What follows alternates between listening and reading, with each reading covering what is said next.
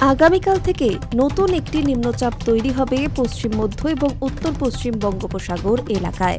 এর জেরে সপ্তাহের শেষে বৃষ্টি বাড়বে দক্ষিণবঙ্গের জেলাগুলিতে। আজ বুধবার একই পরিস্থিতি আবহাওয়ার, তবে আজকের পর আবহাওয়ার পরিবর্তন হবে দক্ষিণবঙ্গে। নতুন করে নিম্নচাপের আশঙ্কা তৈরি হচ্ছে বঙ্গোপসাগরে। যার জেরে সপ্তাহ শেষে বৃষ্টি বাড়বে দক্ষিণের জেলাগুলিতে। আজ এবং আগামীকাল দক্ষিণবঙ্গে বৃষ্টির সম্ভাবনা খুবই কম।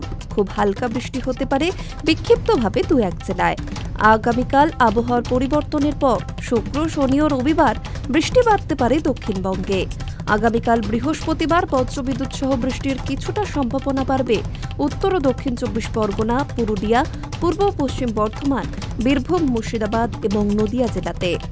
উত্তরবঙ্গে আজ বুধবার থেকে বৃষ্টি বাড়তে পারে। আগামীকাল দার্জিলিং সহ বেশ কয়েকটি পার্বত্য এলাকায় ভারী বৃষ্টিরও সম্ভাবনা। সেই সঙ্গে বজ্রবিদ্যুৎ সহ বৃষ্টি হবে কোচবিহার, মালদহ, উত্তর ও দক্ষিণ দিনাজপুর জেলাতে, তবে দার্জিলিং জেলাতে ভারী বৃষ্টির সম্ভাবনা। কলকাতাতেও আজ সকাল থেকেই আংশিক মেঘলা আকাশ।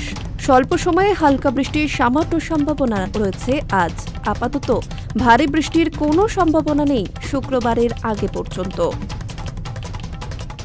ওয়েদার ব্যুরো নিউজ বর্তমান